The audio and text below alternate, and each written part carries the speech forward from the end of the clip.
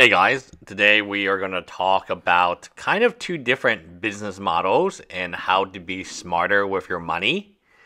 Now, again, I will say this for the people in the peanut gallery.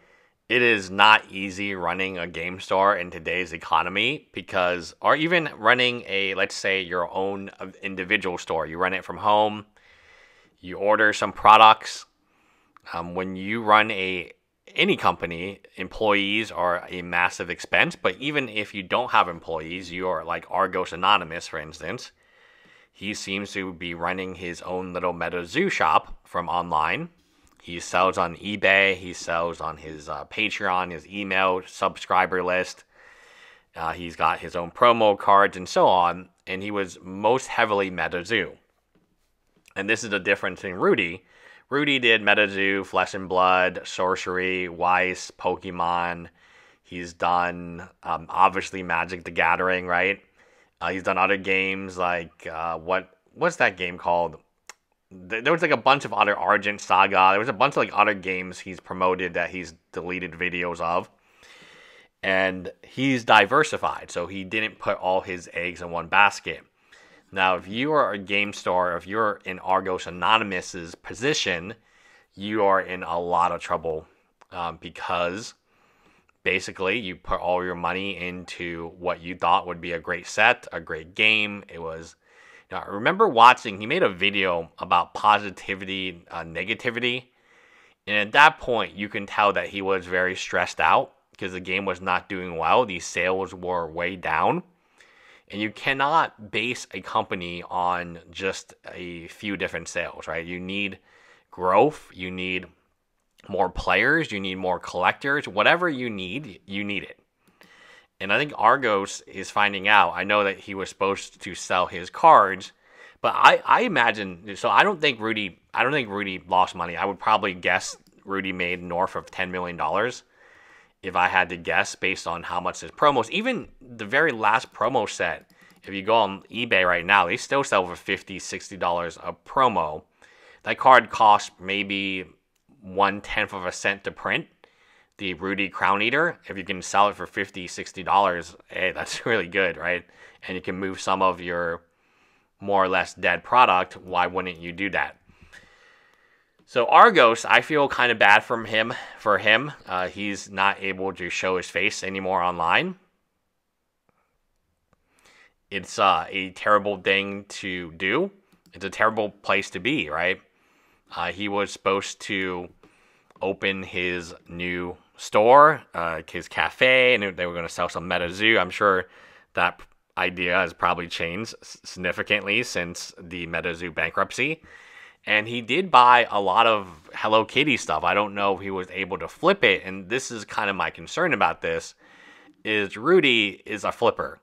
He doesn't care about these games. He doesn't play these games. He's a pair flipper. I think Argos was actually half a flipper and half a collector, and that's who's getting hosed. The flippers don't get hosed because they never hold the product long enough for it to be a risk. And that's one way you can do it. And that's, again, another thing that I wish Rudy would tell you if you are just a flipper, you're fine because if you flip a $40 box for $820 a box, you're gonna you're making 20 plus X a box. Some boxes you're making 40X, right? That's a really, really good income. That's I mean, I, I, that's incredible margins considering it's a TCG card game.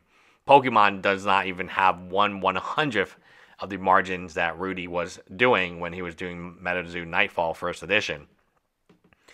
The other thing that I would probably say is really a little strange and something where it is a interesting topic to discuss is the business models themselves. I don't think they have long to last. I think Rudy understands this. I think Argos understands this. Like MetaZoo was directly selling to its customers via pre-orders they cut out the middleman. So the middleman in MetaZoo, they only had their own promos to sell, like Ask, Catch 'em, Catch 'em All collectibles, and so on. It's sad to really think about where MetaZoo was and is today because that's the only differentiating thing was he had MetaZoo had promos. Uh, all everybody had promos of themselves, and they were trying to. It reminds me of like a real estate company.